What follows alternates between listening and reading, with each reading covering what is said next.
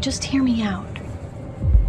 I have been praying for you to come home, and I believe that that is why God brought you here. I just want you to be ready.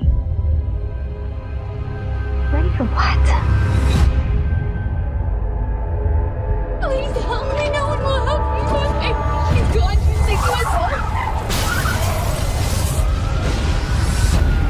As unbelievable as this may sound, people from all over this plane simply vanished. I know you all want answers, and believe me, so do I, and I'll do my best to get them.